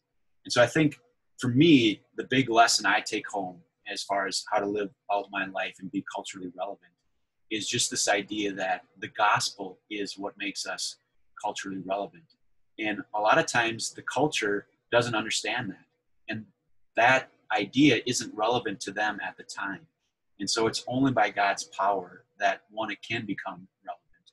But two, much of our mission of Christians to be culturally relevant is to uh, primarily in word, but also in deed, show its relevance for our life and there, thereby show its relevance in their life. Anyways, um, the last two items that we didn't get to uh, were um, basically uh, this idea of the hermeneutics, like um, if Jesus and his church are the fulfillment to all these Old Testament prophecies, there's this problem of how did how was it that all these people missed this uh, for all these centuries? Like jesus is on the scene and the pharisees and the scribes who are very studied in scriptures are not seeing him as a fulfillment of the scriptures. So the question then becomes how is it that one would see this? What is the hermeneutical principles by which we can read our old testaments and understand this to be true? And so you kind of have two different schools of thought develop. One in alexandria which is kind of a northern city or a city in northern Africa, which was a, an academic center of the Roman world. One of the academic centers, not the, but one of the academic centers. And so they kind of developed this allegory method. I'll leave it up to you guys to kind of investigate what that is.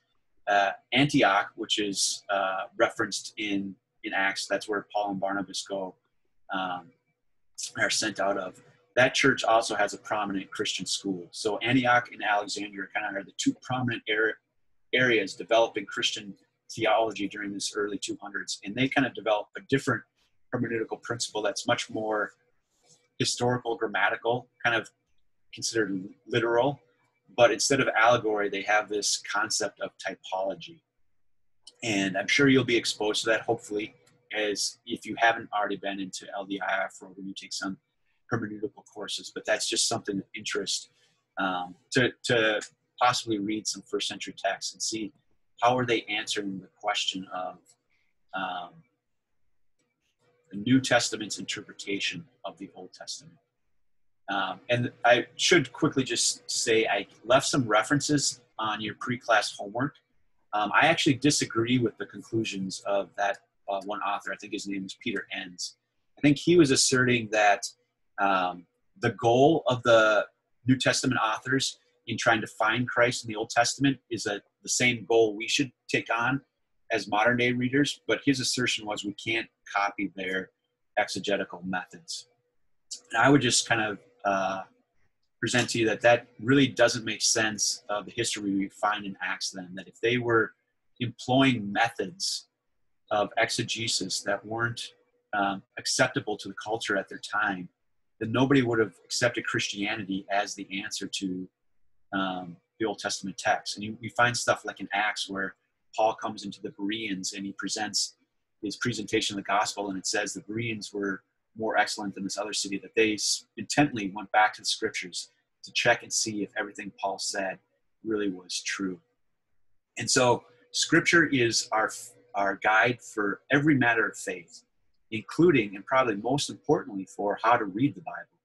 And so, yes, it's confusing at times how uh, New Testament authors quote the Old Testament, but if you really want to learn how to read your Bible, that's one of the most fruitful things you can do is actually uh, just stop and pause. And you're probably not going to get it the first, fourth, fifth, or tenth time understanding it. It's going to be a journey. But really, as you're devotionally reading uh, the Bible, pay close attention to how authors quote earlier parts of Scripture and just ask, what is what are the hermeneutical principles? Hermeneutical principles just mean principles of study, principles of uh, how, how we should read it. Like, what what concepts are they using to to interpret? Uh, the last thing was just kind of the Gnostic and Marcion heresies.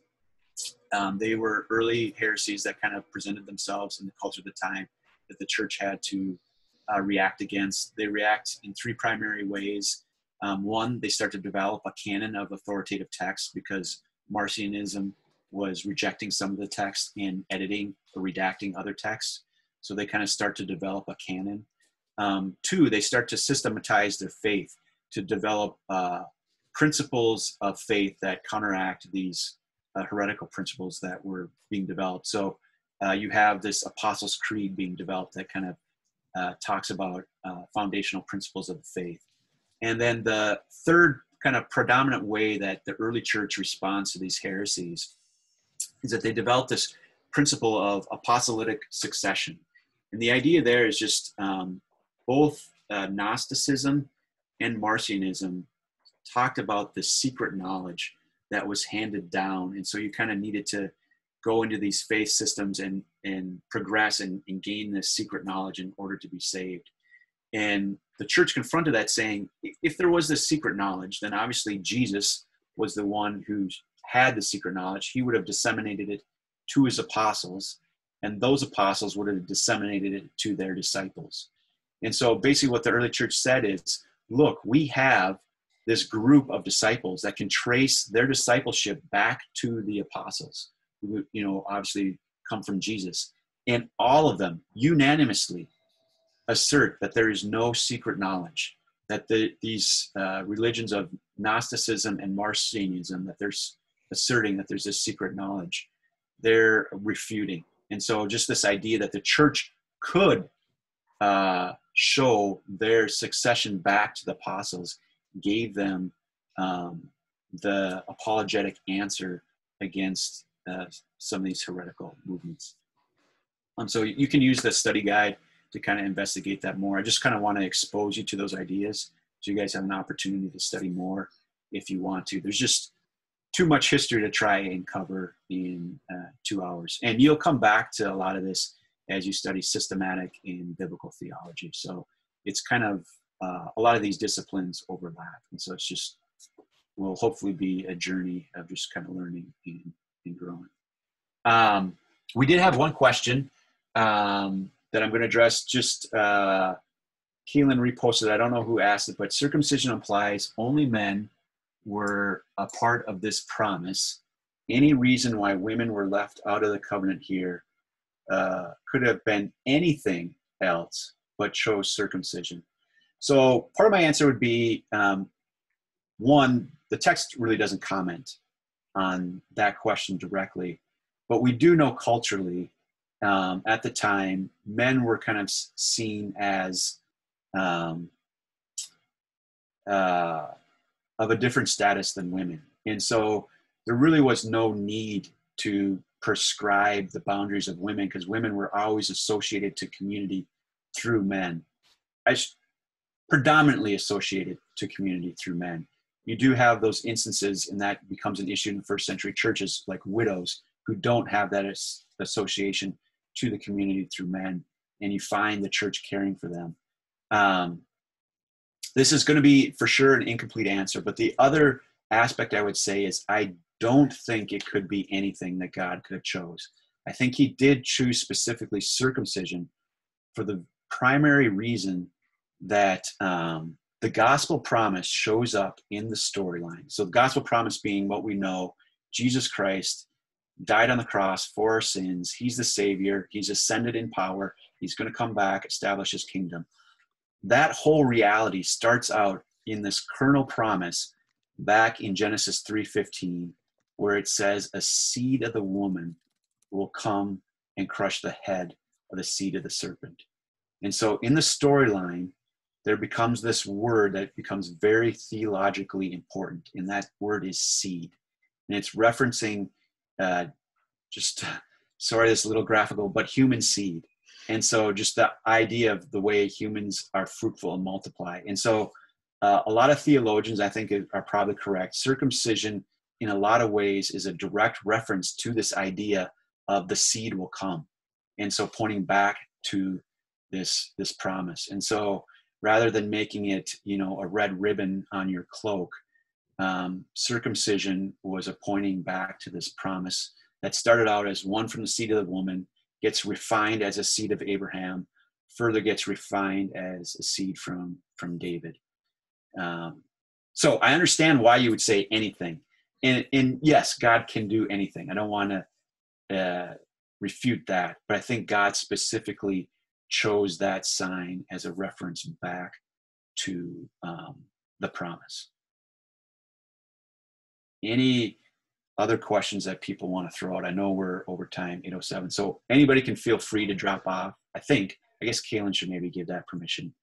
Um, Do you want to answer the follow up real quick? Uh, so would women have been excluded in the covenant through your husband's father? Yes. So women would have um, been included, and we see um, even widows uh, being included in a sense in the covenant community. Um, like you go to Ruth, um, where there's provisions made for the uh, what um, is supposed to happen in the family line so that to every possible extent they still have an attachment through a male and even when they don't um, they are still uh, given some provision within the community but for sure i mean uh, the culture was very patriarchal back then and it's easy to understand how that would have been a natural outcome of fallen humanity in a sense of um, dominance by physical characteristics. But then we also, and this is just kind of outside of this class, we do have God giving different roles to the to the sexes, male and female. And so um, I'm not asserting that that was God, how it played out in culture was God's intention for those different roles. I think that's a, a perversion of those roles where women did predominantly uh, end up suffering as um, in their role. Um, but there it is biblical for for there to be different roles but still a part of the same community huge topic way way more than i can answer but great great question too i don't want to just dismiss it all right. Well thank you norm for diving into acts with us. That was a lot of good information. And even just to kind of um, reiterate what he said about um, just learning how to study the Bible just makes it so much more like when I I guess when I do it and looking at the cross references if I'm having a hard time understanding what a text means and seeing where else they might talk about it at script in scripture is really helpful for me um, because it it just brings to light more of what God is doing and so um, cross references study Bibles are helpful and things of the sort so um, just a couple announcements to wrap up the night. Um, the first one being is we have a retreat coming up. Um, it will be all the month of January. Um, so we will, some of you may have gotten your uh, retreat kits already. I made a few stops along with um, Catherine, and I know Paul's heading out this week um, and in there, you will have your book for next session along with some snacks, um, just because snacks make things better, at least in our opinion. Um, and so we want you also to be creative with your retreat kit and make an Instagram worthy post um, and post your picture on Canvas. And then we will vote, and the winner will get, um, I don't know yet, but for sure a high five. So we will start there. Um, and let's see what else. The retreat will be made available on January 8th. Um, and then you'll have until January 29th to complete it. Um, so hopefully that will give you enough time for to do all the videos at once. Um, and then leaders, I would just maybe set your own deadline for your group so that when you guys choose to discuss, then they will know kind of when to be ready. Um, each video will be 15, 20 minutes long, so they aren't too long. Um, and it's all just like different moments in church history. Um, and then the other announcement is in January, and then at least through March or April, we're going to be hosting game nights for off roaders um, just once a month, probably for, I don't know, an hour and a half ish. Paul and I are still working out the details. All we know is that this is something we want to do just to gather you guys and have fun. Um, and so we will keep you posted on that. The first one will be um, middle of January. So keep an eye out for that. Uh, and I think that's it. So I will pray to close us out. And then, yeah. Thank you again, Norm, for coming. Woo! It was awesome. Yeah, props to everyone for enduring uh, Zoom learning and LDI off-road. That's uh, that takes some dedication. So props. Yeah. All right, please pray with me.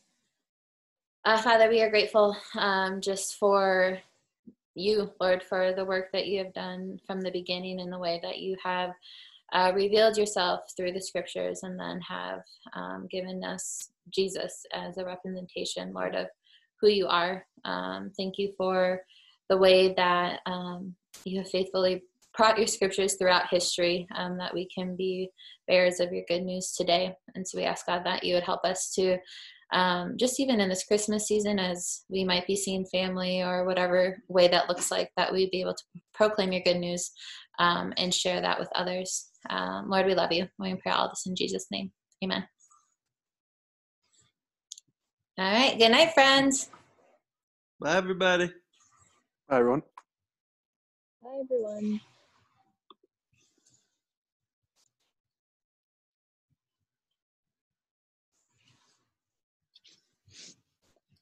All Caleb, right. Stop, stop recording.